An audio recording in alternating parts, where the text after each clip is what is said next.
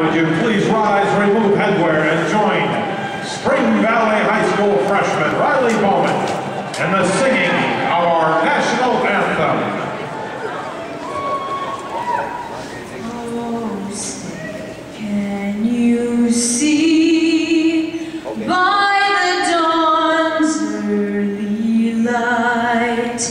What's so proud?